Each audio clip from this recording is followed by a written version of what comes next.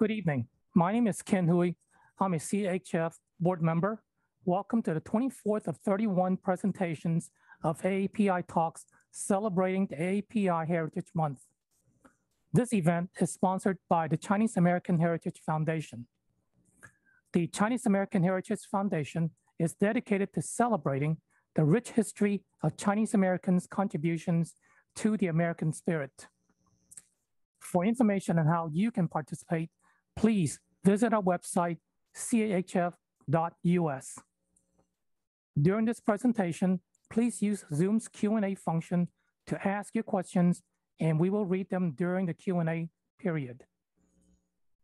This Zoom event is being recorded. Tonight, we have a very informative panel who will discuss OCA's legacy. Our panel moderator is Thu Nguyen, Deputy Executive Director of OCA National. Welcome Thu, would you please introduce our panel? Thank you, Ken, um, and good evening, everybody. First, I'd like to again thank CACA Boston and the Chinese American Heritage Foundation for hosting this space for us to share about our legacy. Oftentimes, we're so focused on our work now that we forget um, our legacy. And so when CACA approached us to share a little bit about OCA, I figured it would be really uplifting during these stressful times to hear just all about um, our accomplishments and get a short refresher on the history of API community building through OCA. And so I'm honored to have three of OCA leaders be here to share our story with you all.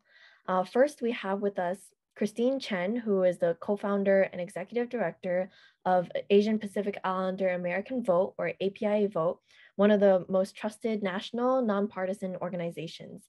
APIA Vote's mission is to work with local and state community-based orgs to mobilize Asian Americans and Pacific Islander communities in the um, in electoral and civic engagement.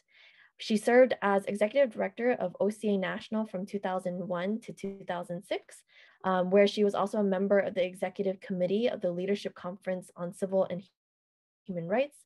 Uh, she was also a founding member of API Scholars and served on numerous boards, uh, including NCAPA, the National Council of Asian Pacific Americans, uh, and Demo Board of Trustees. So she's currently uh, serves on the board of the, Nat the Kennedy Center and the Center for Asian American Media. Next, we have Deborah E. Chen or Debbie Chen, no relation. Uh, she's an immigration attorney at the law offices of Deborah E. Chen, Y. Chen um, and Associates and is a longtime community activist for the past 20 years. She's an expert in small minority, women, disadvantaged business enterprise, government contracting programs, and supplier diversity. Um, she serves on the board of OCA Greater Houston chapter, um, where she co-founded the Houston API Film Festival Committee and co-organizes OCA Greater Houston's advocacy, um, such as monthly citizenship workshops, um, pro bono legal resources guides, and um, biannual exit surveys in Houston and other GOTV efforts. And last but not least, we have Roland Hwang, who currently serves as the Vice President of Public Affairs for OCA National. He was the chapter president of OCA Detroit for three years. He's an attorney in immigration law and currently teaches Asian American history in the APIA Studies program at the University of Michigan. He served for 27 years as an assistant attorney general for the state of Michigan. He also serves on the Michigan, Michigan Advisory Committee to the U.S. Commission on Civil Rights, and he's a former hearing referee for the Mission, Michigan Department of Civil Rights. And so if I can have our panelists join us um, on stage. And just a refresher, if you're not familiar with OCA, we are a national membership-based civil rights nonprofit organization.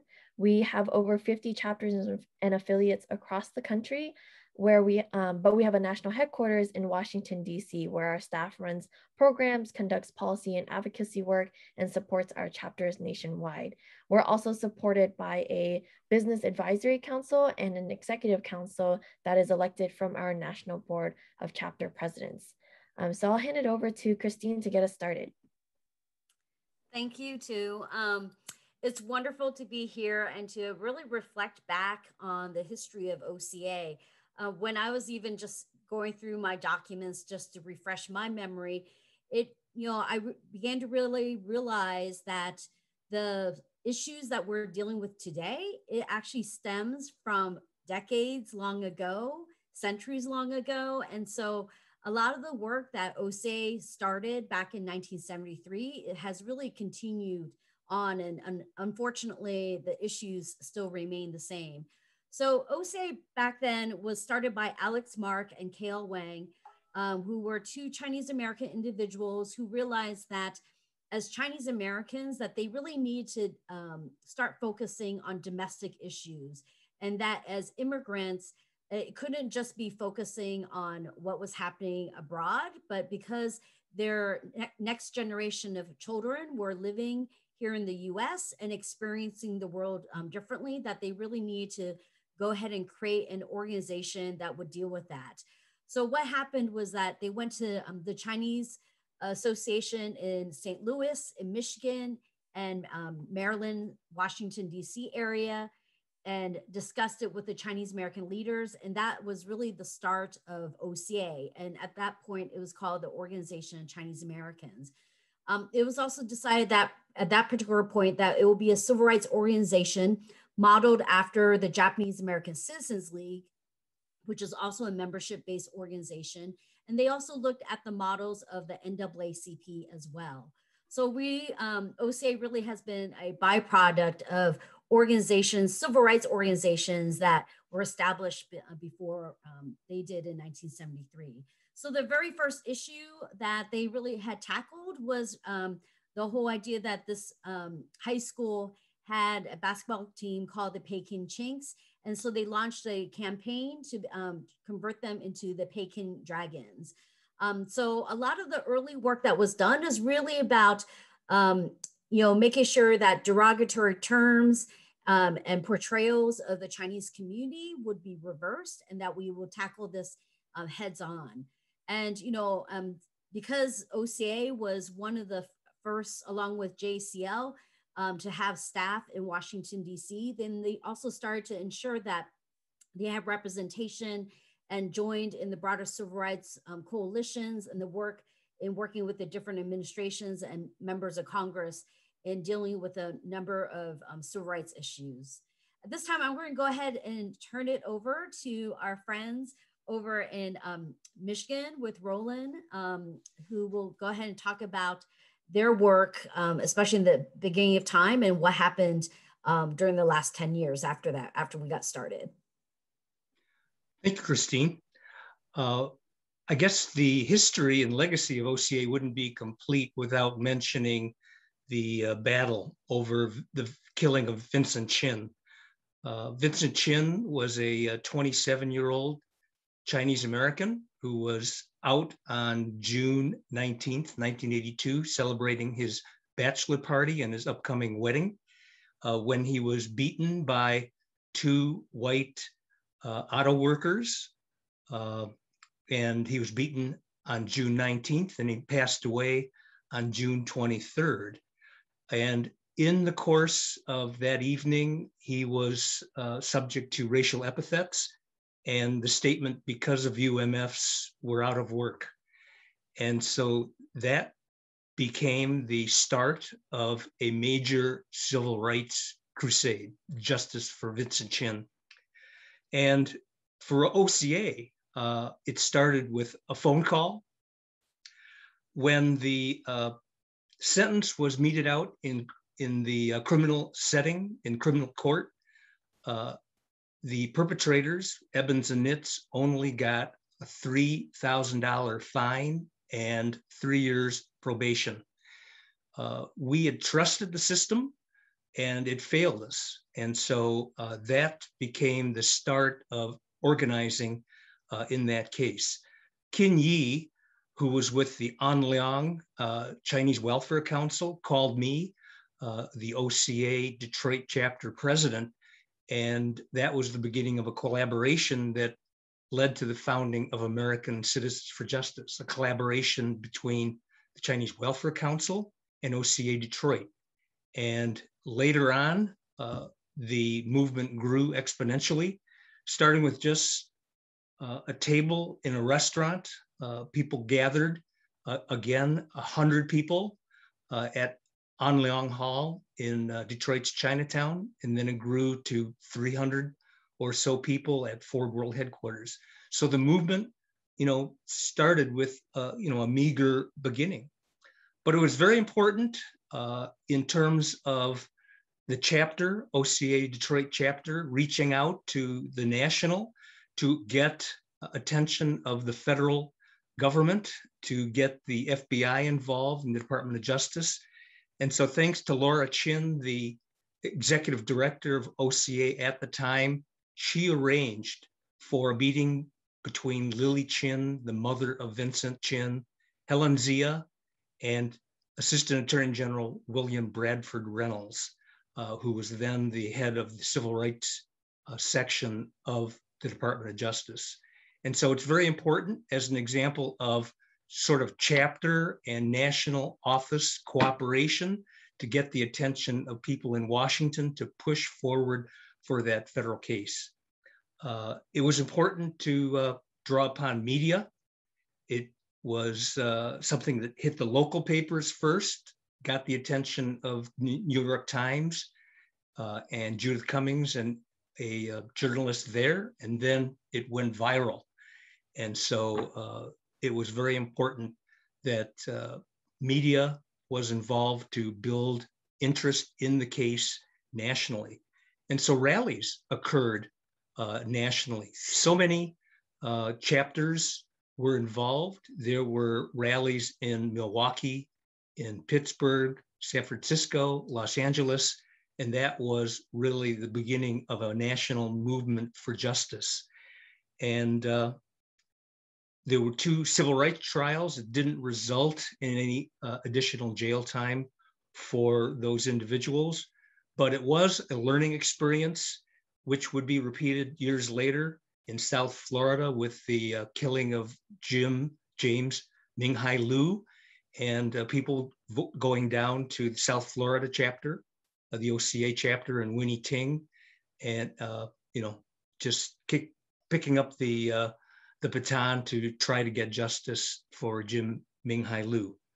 Uh, I think there are key issues to be learned for today in terms of post Atlanta uh, what is uh, deemed important, uh, getting the media involved, getting coalitions formed, and to get to pay attention to such issues like the change in venue, which occurred in the Detroit case, where the second civil rights case was ulti- ultimately moved to uh, Cincinnati.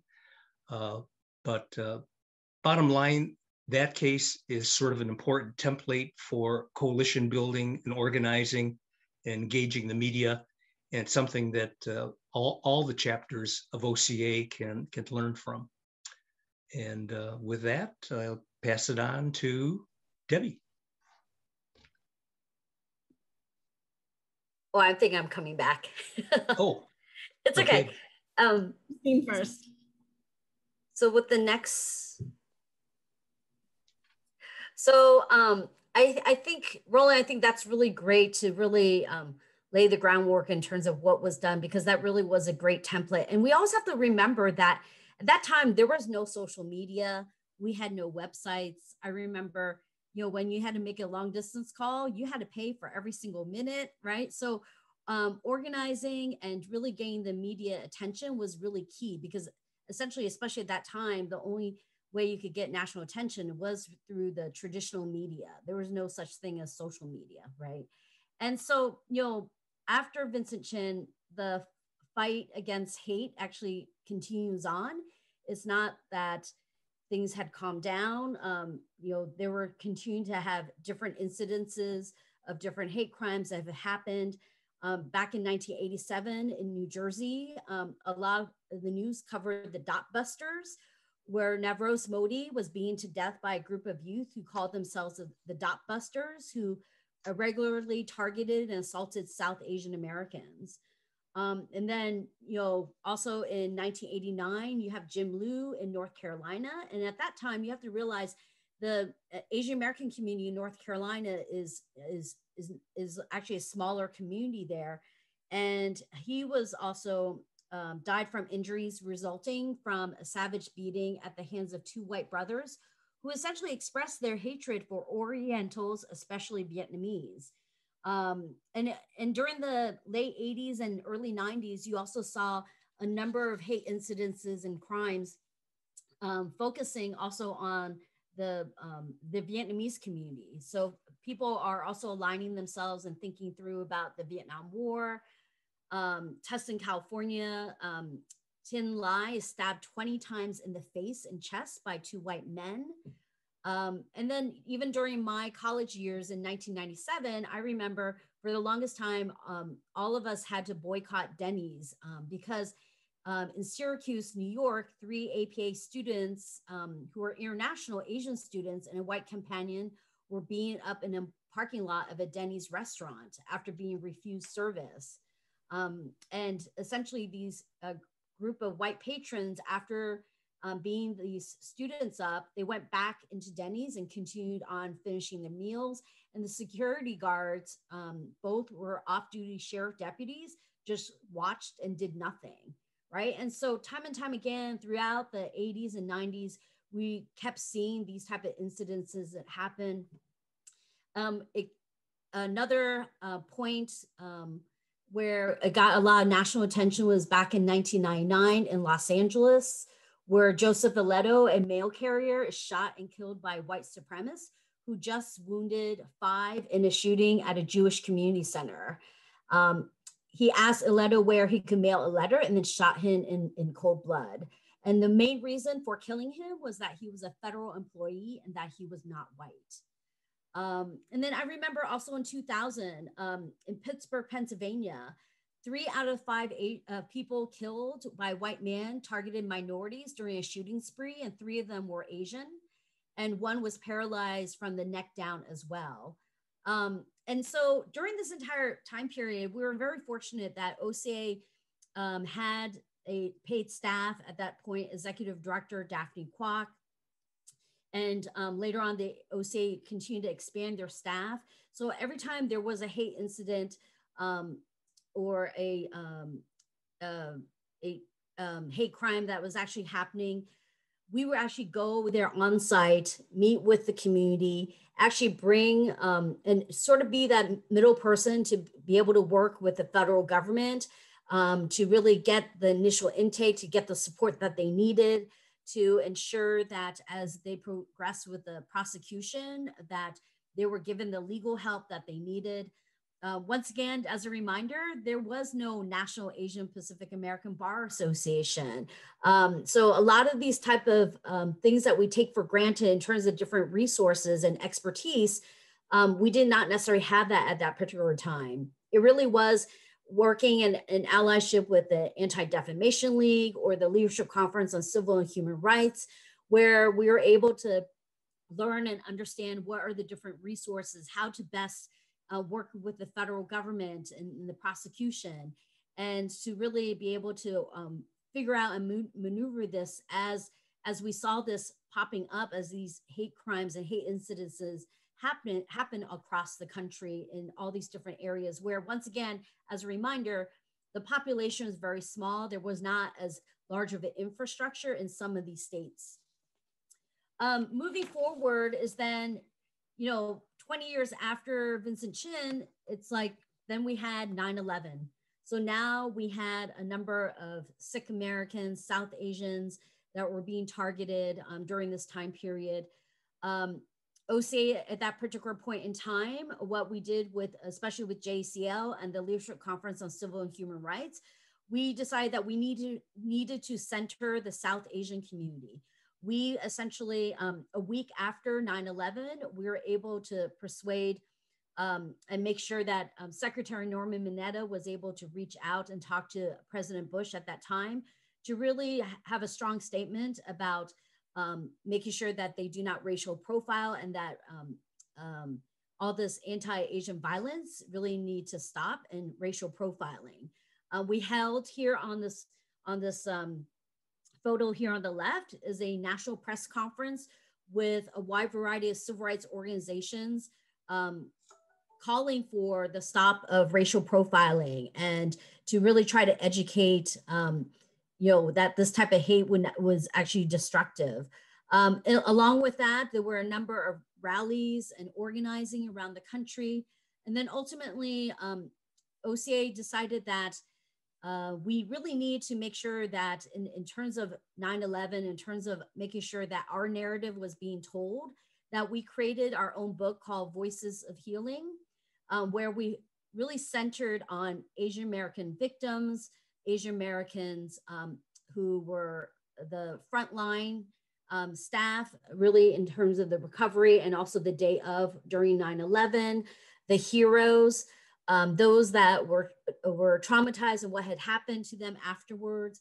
Um, but, you know, it's a wide collection of different stories and pictures that typically are not necessarily seen when you're thinking about 9-11 because a lot of the 9-11 books and coverage did not necessarily cover the Asian American um, collective stories. And so that was really an important piece that we had decided that was needed as we move forward with 9-11.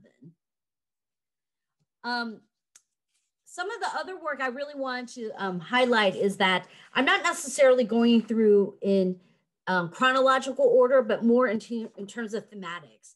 Um, nowadays, we hear like Asian Americans are always uh, being portrayed either as the model minority, as the other, or the perpetual foreigner. Well, I think the the basis of this perpetual foreigner, or back then what we call the Americanized foreigner, really stemmed um, during the time period in 1996, when with the uh, President President Clinton, or actually at that time the Clinton Gore um, campaign, um, there was a controversy where there were Asian donors um, that were illegally donating to the campaign. And there were not necessarily the infrastructure to ensure that all the Asians that were being that were participating in the finance um, were actually legitimate um, donors that were allowed to actually be able to participate in that. But because of that, um, because of a few folks that illegally donated and also organized and bundled um, funds to the campaign, um, it was essentially seen that Asians overall or should be considered like foreigners. And then the DNC had went ahead and considered um, looking back at all their donations from Asian um, donors to double check whether or not they were legitimate um, contributions. That was something that OCA as well as JACL and a number of other civil rights organizations fought against because in reality, it really shouldn't be racial profiling a certain segment of their donors. But in reality, what we're um, advocating for is that they have a stronger process in vetting all their donors, um, especially at, at, a certain level of donations.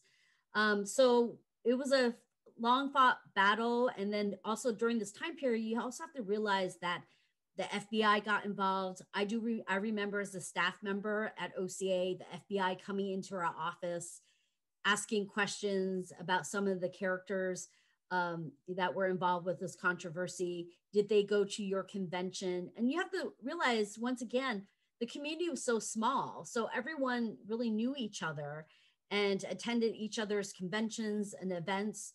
And um, so it was a very traumatic time period for a lot of um, Chinese Americans and Asian Americans. Um, I also would say that this controversy back in 1996 really, um, you know, uh, held back uh, a lot of Asian Americans in terms of getting involved with politics. I think for several years after that, it was harder to get Asian Americans to donate, to uh, run for office. Um, and the whole idea that if, if you are to run for office or, or be more involved, you're constantly labeled as a foreigner and you always are having to explain yourself that um, why you legitimately um, can run for office or that you've been living here and you're always like, having to justify um, that you're an American here. Um, so that's where that's one thing I wanted to like point out in terms of where this really had bubbled up and, and transpired. The next theme is also about the questioning of loyalty. You know, we're seeing that still these days as we're um, talking about different scientists that are being investigated, um, um, and many times um, not necessary with the with the right um, justifications. Um, the biggest case that we saw this in terms of racial profiling was really with the Wen Ho Lee case. Um, at that time, Ose called for due process for Wen Ho Lee, who allegedly uh, was accused of espionage while working for Los Alamos National Laboratories. And because of this one case, it actually impacted Asian employees in all the national laboratories. Um, and there's a number of them across the country where um, we have a large segment of the employees are of Asian descent. Um, so OCA and at that time Daphne Kwok met with Secretary of Energy Bill Richardson to really address these issues. Um, Daphne, as well as um, Yvonne Lee, who uh, later on worked for the US Commission on Civil uh, Rights, um, went on a tour to all the different national laboratories to meet with the Asian employees to really find out what kind of treatment that they had, what were the barriers that they were facing, to really come up with a document to be able to present to the secretary to like um, make them understand how um, how how they're being perceived is and stereotype is impacting their work. Um, later on in 2000, um, Secretary Bill Richardson then decided to announce the appointment of two OCA members, Jeremy Wu to be the National Ombudsman for the Department of Energy, and Daphne Kwok to be a member of the Secretary of the Energy's Advisory Board. So that would allow the um, Asian American employees a uh, opportunity and a venue to be able to um, try to um, deal with their grievances, as well as try to figure out how they could change internally at the national laboratories um, and prevent further discrimination um, in terms of moving forward. Other issues that we've continued to work on from day one um, when we were first um, created was immigrant rights and immigration. Um, you know, there's always has it's always been a long um, battle. Um, ever here, we actually have um, where we're participating in the signing of Immigration Act of 1990s. Uh, we've also dealt with immigration issues as it's tied to access to welfare in the welfare reform time period. Um, during the also the 2090s uh, time period, we also did a lot of education around the form I-9. So many of you, when you have a new job, you are to submit your I-9 form with your legal documents um, showing that you can work here in the United States. In, in the United States. Well, at that particular time, there was a lot of racial profiling of Asians, um, questioning whether or not you could legitimately work here in the U.S. And many times you were asked for more documents than you were actually needed. So we launched a, a campaign to really educate the Asian community about what your workers' rights were and what type of documentation you really should be providing. The other work that we've done is that um, is really pushing back on destructive narratives. Um, once again, you have to realize it, since we didn't have the internet um, really finding out all these different um, uh, incidences and uh, racial issues and, and topics. It really we really counted on the grassroots the chapters the members to be tuning in to what's happening locally and to be able to bring up to the national office so that way a campaign can be launched and that we could go ahead and try to deal with this not only um, in that local area, but if they were part of a national network to making sure that these corporations of these radio stations um, or, um, or these networks would address it um, across the board, across the country. Um, so it really led to a lot of the organizing. And then we also had to deal with, you know, even like Abercrombie and Fitch and also um, consumer driven type of, of companies where they were like creating um, very offensive, different uh, attire or games or just different uh, propaganda that they were trying to sell to be able to make money. Also, at that time, you know, you also see Shaquille O'Neal uh, racially taunt um, Chinese Houston Rockets um, Yao Ming. So, you know, everyone's always thinking about the Jeremy Lin incident. Well, this also happened um, early on in Yao Ming's um, uh, life. Um, obviously, you know, these two are now really great friends, and um, Shaquille O'Neal has learned a lot from that time period. Um, but you know, I think a lot, a large segment of the work that was being done in the 90s and 2000 really was this constant barrage of different incidences that were happening and that we realized that we couldn't just let it slide away, that we actually had to be proactive in addressing this.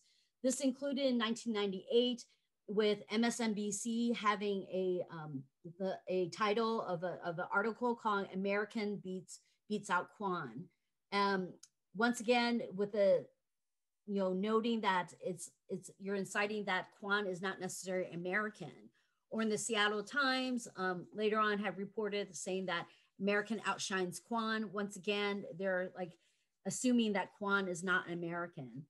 Um, also, in the same time, you know, we we saw that Connie Chung even did a a news report on CBS about a Chinese spy report, um, and we had to call her out on that and say that the way she had portrayed her story, it really led people to think that all Asians or all Chinese were were can be potentially a spy.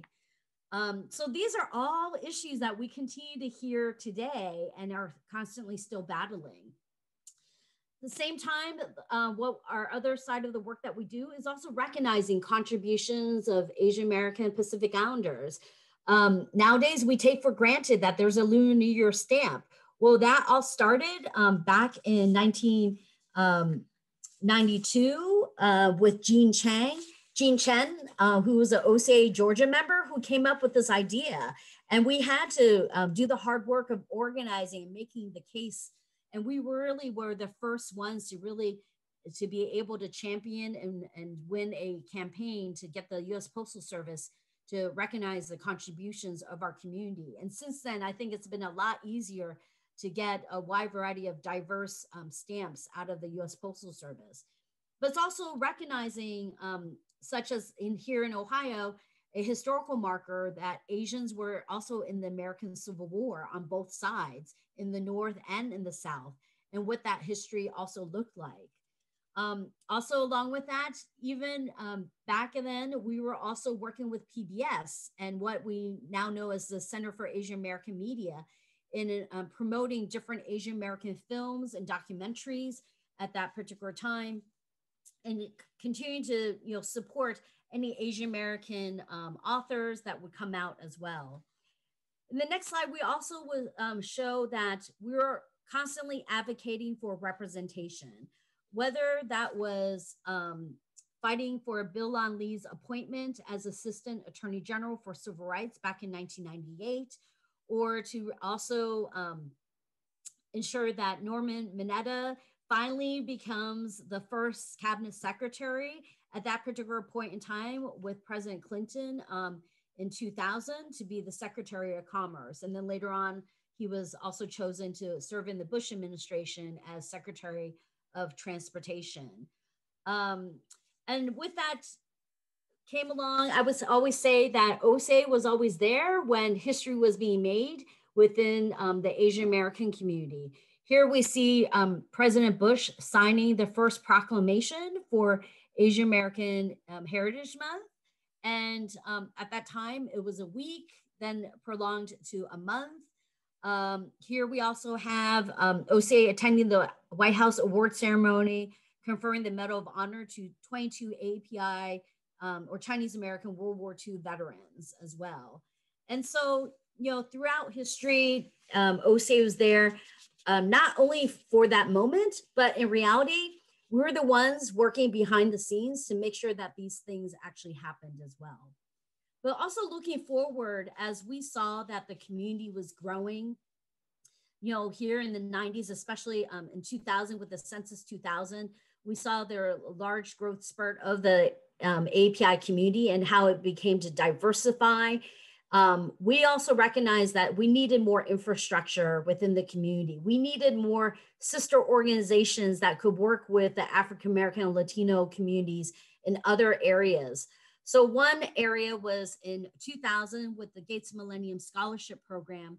OCA was um, designated to implement this massive um, scholarship program for AAPI students um, with the goal that we will work with a cohort of other national organizations to ultimately um, create what we know as the API scholars.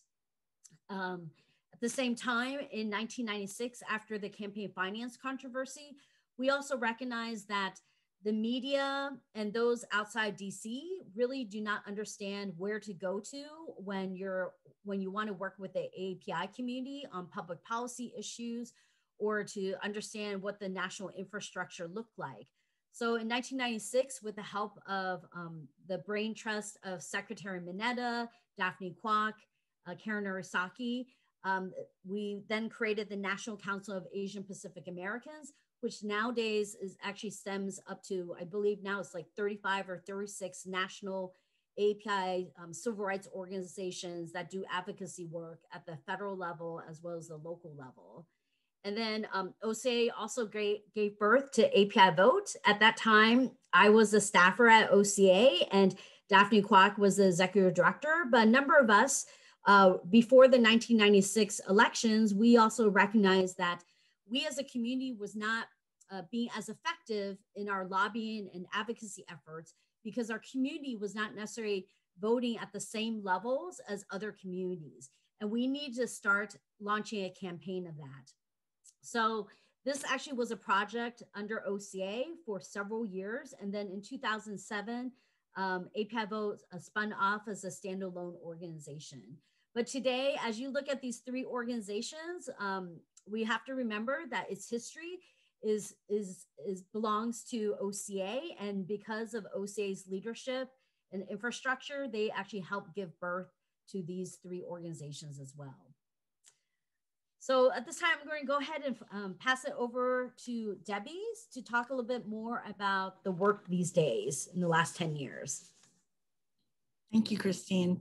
A, a couple things that Christine did not mention was the number of groundbreaking programs that happened while she and Daphne were there in the office as you know consecutive EDs. Uh, one of which was you know OCA is famous for is our intern program. We run. I will you know be biased and say we run the best uh, AAPI internship program, the oldest AAPI internship program, and really kind of set that model that a lot of different organizations now follow. But most more importantly is that we created that internship program and we wanted to work with other organizations so that all the different interns who come to DC in the summer, they actually all meet each other, right? And it's about that building that, that pipeline of leadership and making sure that everybody works together. And so I'm not quite sure if we're still doing brown bag lunches pre-pandemic, but I believe that they are doing uh, sama-sama type of trainings together. Um, a, couple other programs were APIU and uh, Y Advocate that were started under Christine and Daphne's leadership. And then um, after Daphne and Christine, uh, OCA actually went through this period where we looked at you know, our, our mission, essentially. We were founded as a civil rights organization. And when we looked at the breadth of the different programs, like we expanded to, you know, include like OCA Reads to promote AAPI authors under uh, Executive Director George Wu. Uh, we started the uh, Build Breakthrough Believe B3 program, which is the professional development program under uh, the ED George Wu, and then later under ED Tom Hayashi, we started uh, MAP, Mentoring Asian Pacific Professionals, uh, to really try and expand our, our reach, but really to further that building of the pipeline of not just having leadership out there who happen to be Asian, but to have leaders who actually understand the issues that impact our communities. And so that goes back to the fundamental core of, you know, who are we?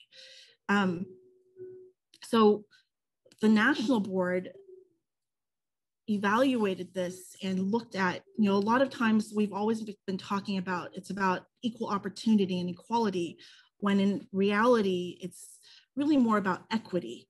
And so we changed our tagline to actually, uh, instead of saying we are a civil rights organization, we grew to become, you know, a social justice organization to really more fully encompass the work that we do.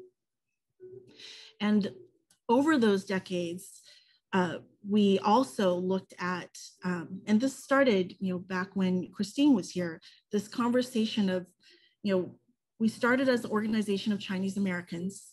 We then evolved to be, you know, organization of you know Chinese and Asian Americans or Asian Pacific Americans. Uh, and then finally, we just said we're going to stop using Organization of Chinese Americans and simply just use OCA. And some of us joke around and say we're an organization of community advocates. OCA, Asian Pacific American Advocates, is our official name right now. Um, and what does that really mean, right? If you go back to the history and founding of OCA, we cared about and we came together because of hate crimes. We came together for immigration reform. We come together for civic engagement. It's about getting a seat at the table and not being invisible and, you know, essentially having power, right?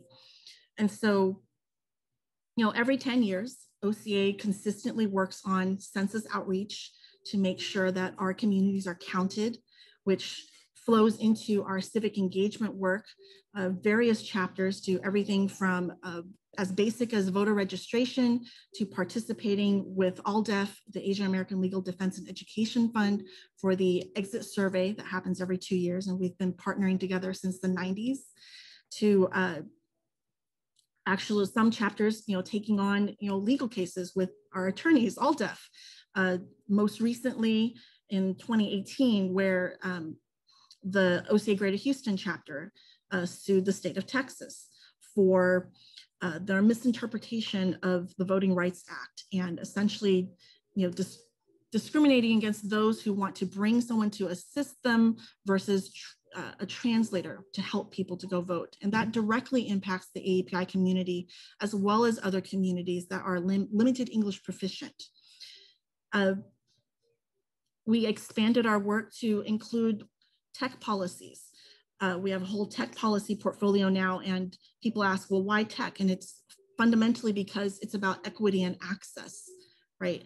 The world has changed where before, before social media, we relied on paper. there was a time when we actually sent out physical newsletters, uh, physical magazines, and now so much is online and so much is based off of social media that if a significant portion of our community doesn't have access to technology, access to the internet, then they are effectively unable to uh, participate as equally in society. This goes back to everything from children who are in school to working professionals. And then from a policy perspective, you know, there's been a number of challenges that have, you know, impacted us over the years. Um, most recently, issues such as affirmative action have come up. Uh, affirmative action can be a very emotional topic for people who don't understand it and don't distinguish between what does it mean in an education setting versus in the workplace, right? Uh, so we have spent the last several years making sure that our communities learn about how that actually works in an educational setting. Uh, we have had numerous committees working on the more recent uh, profiling of uh, Chinese and Asian scientists and engineers. And now we're, well, prior to the pandemic, uh, OCA has a national committee that's been looking at AAPI curriculum to address our visibility. And so these things all kind of came to a head where now we're living in this time where AAPIs are essentially being scapegoated. And we see uh, a huge rise in anti-Asian hate. And OCA has, or is, taking its Responding to Hate Crimes, a community action guide, and we are updating it. We will be republishing it and distributing both digital copies as well as physical copies. Uh, I encourage everyone here uh, to, if you know someone, to please you know, report it. Please go to um, AAPI. Oh shoot, and I'm blanking out.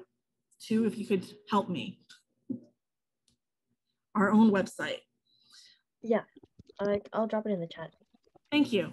So you can go there to either report, thank you, aapihatecrimes.org. You can go there to either report, but more importantly, to get information on how to address it, whether it is the uh, community action guide or the situational awareness workshops that OCA has been conducting nationally every month.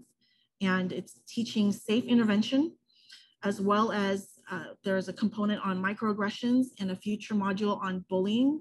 So we are making those free and available to the community. Uh, and then I, I highly encourage everyone to be involved with getting AAPI curriculum passed in your local areas. Uh, it's literally a state by state thing. And once, even if it's passed at the state level, then it needs to go and be brought into uh, or adopted as curriculum school district by school district. So there's still quite a bit of work for us to do. And I think that a lot of this is going to really have long-term impact and having us not be invisible and to know the history and appreciation of the history and contributions of AAPIs in this country are going to impact all the other areas of work that we do and those generations coming up after us. So I invite and encourage everyone to be a part of us. We were founded in 1973. Our founding chapters were in Detroit, St. Louis, and Washington, DC, continues to be our headquarters. And our 50th anniversary is coming up in 2023. Uh, I will give a plug. Our convention this year is virtual. Uh, it is free and open to anyone who wants to attend our convention. Next year will be in Las Vegas, August 4th through the 7th weekend. And then 2023, we will be in Washington, DC. And I hope all of you consider joining us to celebrate. Awesome. Thank you for sharing um, our story, Christine, Debbie, and Roland. Um, for anyone who is in the audience, if you have questions, you can drop it in the chat or drop it in um, the Q&A. But the first question we have is from Ariani. Hi, Ariani, um, for Roland. So earlier this week, she had a question, so she wants to pass it on to you, is um, why was it that the Vincent Chin case and not another case, for example, like Peter Yew or Chol Soo Lee, endured as a symbol for the movement? Do you have any thoughts on that, Roland? Well, I think that uh, at the time of the Vincent Chin case, uh, what propelled the case was actually the energy of individuals. Uh, it was Helen Zia, a journalist at the time with the Free Press, uh, not a lawyer, who said, We've got to do something. And a lot of the lawyers around the table, including myself and Jim Shimoura and a few others, were, were talking about double jeopardy or other considerations. But there was a force to be reckoned with in Helen Zia and Lily Chin, the mother of Vincent Chin. She was there to say, I want justice for my son. Uh, it only takes an individual to just sort of uh, light that spark, much like uh, Mrs. Ileto, you know, the grieving mother picking up the uh, baton for the killing of Joseph Ileto, the, the uh, postal carrier in Chatsworth, California. And it's just been repeated. Uh, we need people to take the lead and people will gravitate to the movement. And a lot of times you really have to, because it's all about respecting the families, respecting the victims. Um, and so you really are going to take the lead of the family members. And so when they are willing to lean in and, and um, do that, and that's what you saw in terms of the Black Lives Matter movement, right? A, a number of the victims' families are like, are do not want this to be, you know, swept aside, but they're leaning in. And so I think you know, in some of these cases now with the Asian American community, we're seeing that. Like, uh, for for example, the victim of the, the grandmother that decided to take all her donations and donate it back, right? And so um, they're they're really changing um, the dynamics in terms of what for someone that's actually a victim, they're they're they're taking their power um, once again. Yeah, um, yeah, thank you for your perspectives on that. I think that's that's very insightful. um, you know, for future generations too in terms of organizing. So actually, in terms of you know growth and the future, the question from Ray is: It seems like OCA, you know, is still maturing um, over the past 50 years, similar to CACA. There are also, you know, um, a maturing organization. So what is being done with outreach and coalition building, like with ACLU, NAACP, ADL? Um, so like, for example, um, you know, Vincent Chin had spawned like Chinese outrage and George Floyd's death, you know, um, kind of reignited the Black Lives Matter movement. So how can um, the Stop API Hate Movement ally with BLM? Um, yeah, I would leave that to you all to answer. Well, I can volunteer that uh, there are a lot of groups that are part of the Asians for Black Lives movement and that's organized city by city. And there really is a rekindling of the coalition building that occurred during the Vincent Chin case in Detroit. Uh, uh you know, at the grassroots level, we're we're partnering with the NAACP Detroit chapter and Black uh, Family Development, Hispanic Development Corporation on anti-racism and anti-blackness and anti-Asian hate. So the coalition is still there. Uh, it's more visible now, uh, but it was always there, you know, over the decades. Yeah, I, I want to reiterate that um, all those coalitions and all those organizations that were named, OCA has been working with them for decades from the from day one. And like I said, many times they were the ones that were teaching us in terms of, uh, and, and there are also the ones that were making sure that we were being invited into those meetings. So, for instance, uh, back in the 90s, when I was a young staffer at OCA, and, and although they were um, in my introduction, it was talked about that I was executive director, um, but I actually was an intern, then a staff member, then executive director. So I was actually with OCA for a decade. And um, during that time period, I remember going to meetings with Hillary Shelton over at NAACP, who's still to this day is the main lobbyist for the NAACP. And many times when he was invited to meetings um, at the White House or on Capitol Hill, and he noticed that there was no Asian being representative being invited, he would say, you need to invite OCA or JACL and make sure that they're also part of that conversation. So we really have um, been in lockstep with a lot of the civil rights organizations. Um, it's and it it really depends on the different time periods in our history where the grassroots community continues to uh, build those um, those coalitions. And I think also this day, because of the pandemic, you know, Black Lives Matter movement, it, it didn't just suddenly emerge in 2020, right? I mean, this has been happening, but I think um, for the Asian American community, because different generations have been living together with their um, with their grandparents, with their parents, there's more opportunities for discussions, sharing of stories of how everyone's feeling um, at this moment in time with all the rise of anti-Asian violence and how's that connected to white supremacy and, and also to the Black Lives Matter movement and to really um, make those connections. So I feel like coming out of this um, as communities of allies, we're only going to be stronger coming out of it.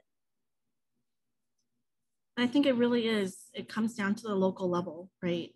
Every city has their own structure and different coalitions. Like in Houston, you know, we're part of the Houston Coalition Against Hate. We're a part of the Houston in Action Coalition and of groups that, you know, come together against hate, but also groups that work in civic engagement, right? Because ultimately, to make change, we need to have power, and it's working together that kind of solidarity of making sure that all of us have equal access and, and rights to be able to exercise our right to vote.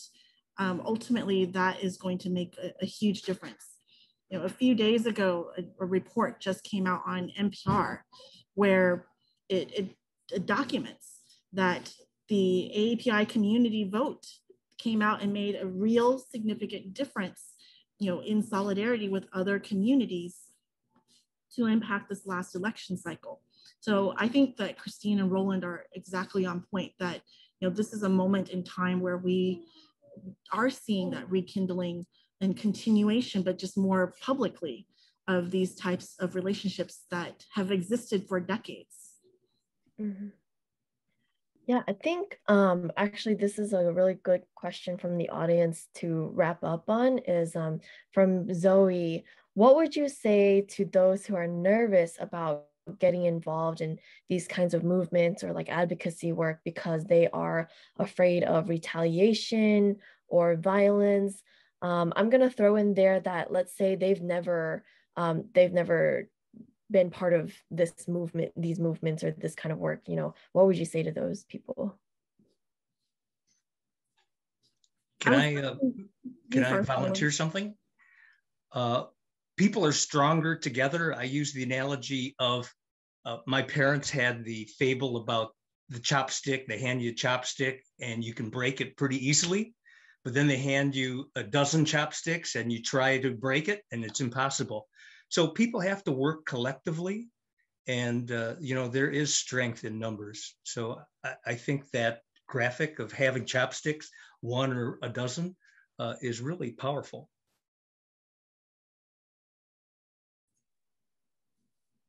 Go ahead, Debbie. I would just encourage you to, you know, first, uh, you know, if it's if it's about confrontation, please take a you know, intervention training course first. Any kind of, of intervention, we want you to, to do it in a safe manner. Um, but in terms of getting involved, uh, I would say that you know there are many different types of people out there, and sometimes you just have to find that right person where you click with, right? Um, everyone has different working styles, and so you know you may be lucky and go out and you meet the right group and and they welcome you with open arms. And the reality is that you may also meet people who are not as welcoming.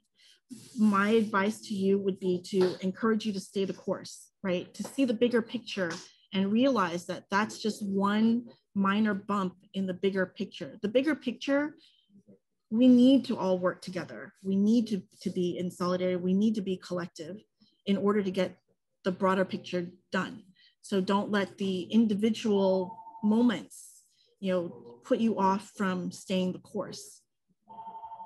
And I will also say that everyone has a role um, in a wide variety of ways. I think what's special about this mo- this moment is that for the last 30 years since I've been here, almost here in DC, doing this work, this is the first time where I've seen so many different sectors, different um, parts of the community, different economic status, uh, different generations are leaning in. There also, for those that have been thinking that, you know, I'm, I don't necessarily need to lean in, into my identity as much in, in my work, they actually realize that they need to and that they need to share their stories. Um, you know, the biggest question everyone keeps saying is that before Atlanta, they're like, we did not realize this was happening. I had no idea. Part of it is yes, we we blame the media and and our elected officials for not addressing it properly, but at the same time, uh, we as a community also need to feel comfortable about processing what we're going through and sharing how we're feeling and um, and the struggles as well as our celebrations um, that we're having. And I'm not saying you have to do a press release or anything. I'm just saying share with your colleagues, share with whoever you feel comfortable with, um, because that is going to also help in terms of educating the the multi layers of our community, and that's also a way for us to make sure that we dispel all the stereotypes that are being pushed upon us and to change that narrative. I totally agree. Um, so th- that wraps up our first session for today, which goes over the legacy and history of OCA. You can actually tune in tomorrow, same time, different place. You should have a different RSVP Zoom link um, and join our team over at OCA National Center, where we go over currently what our programs are for you to get involved, for you to follow. A lot of it is free, um, and you can hear more on what actually we're doing on, you know, anti-Asian hate, immigration, technology, um, and all of our programming from youth to work, young working professionals for our members, um, and why you should be an OCA member potentially. And so again, thank you all joining us tonight as we learn about OCA history. I learned a lot myself, um, and I'd like to hand it back over to Kin. Thank you, Thu. On behalf of the uh, CAHF, thank you to Christine, Roland, and Debbie for such an informative session. Uh, Thank you attendees for joining us. And as Thu said, come back tomorrow for a uh, session on a discussion on OCA's future. So again, thank you, everyone, and we'll see you tomorrow night. Bye-bye, everybody.